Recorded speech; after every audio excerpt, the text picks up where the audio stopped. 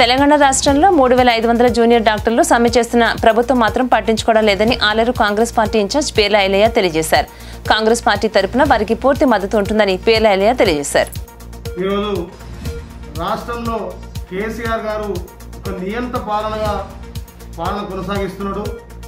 పదిహేను వేల జూనియర్ డాక్టర్లు రాష్ట్ర నలుగురు మొత్తం మూడు వేల నాలుగు వందల మంది పదిహేను రోజుల నోటీస్ ఇచ్చి ఆ నోటీస్కు స్పందించకుండా ఇలా కరోనా కష్టకాలంలో తెలంగాణ సావర తెలంగాణ అవుతుంటే ఇలా కేసీఆర్ నాటకం చూసినట్టు చూస్తుంది తప్ప ఆ జూడాల సమస్యలు పరిష్కరించట్లేదు. వాళ్ళ ఒక న్యాయమైన డిమాండ్లు. ఎవరైతే కరోనా టైంలో చనిపోయారో వాళ్ళ కుటుంబానికి యాభై లక్షలు ఎక్స్గ్రేస్ ఆడుతున్నారు. కరోనా సమయంలో ట్రీట్మెంట్ చేసేటప్పుడు వాళ్ళ కరోనా వస్తే వాళ్ళకు నిమ్స్లో ఒక బెడ్ కేటాయించమని న్యాయమైన డిమాండ్లు అంటున్నారు. గత సంవత్సరమే వాళ్ళకు టెన్ పర్సెంట్ ఫిట్నెస్ ఇచ్చినారు. అది ఇంతవరకు ఇంప్లిమెంట్ కాలేదు.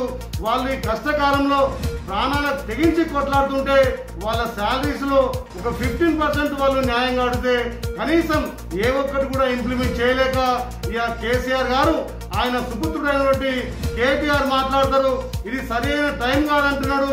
ఇలా కరోనా వల్ల చనిపోతున్న పేషెంట్లకు ప్రాణాలు తెగించి చేసినటువంటి మూడు వేల నాలుగు వందల మంది జూనియర్ డాక్టర్లు న్యాయమైన కోరికలు తీర్చట్లేదు. సరైన టైం అంటే మీ ప్రభుత్వానికి ఎప్పుడు సరైన టైము ఎలక్షన్లు రాగానే అక్కడ పెన్షన్లు రైతు బంధులు స్కీములు పెడతారు. ఇక్కడ తెలంగాణలో ప్రజలు చనిపోతుంటే కూడా మీరు డో- డాక్టర్ల న్యాయమైన కోరికలు తీర్చకుండా సరైన టైం కారణం కేసీఆర్ భావ్యం కాదు. ఇప్పటికే బంగారు తెలంగాణ సాగుల తెలంగాణ అయింది. ఇప్పటికైనా జూనియర్ డాక్టర్ల న్యాయమైన కోరికలు తీర్చాలి. వాళ్ళు డిమాండ్ చేసేది చనిపోయిన కుటుంబాలకు యాభై లక్షలు ఎక్స్గ్రేసియా వాళ్ళ వేతనంలో ఫిఫ్టీన్ పర్సెంట్ అడుగు తప్ప నీ ఆస్తి ఏం అడగట్లేదు? నీ ఆదాయం ఏం అడగట్లేదు?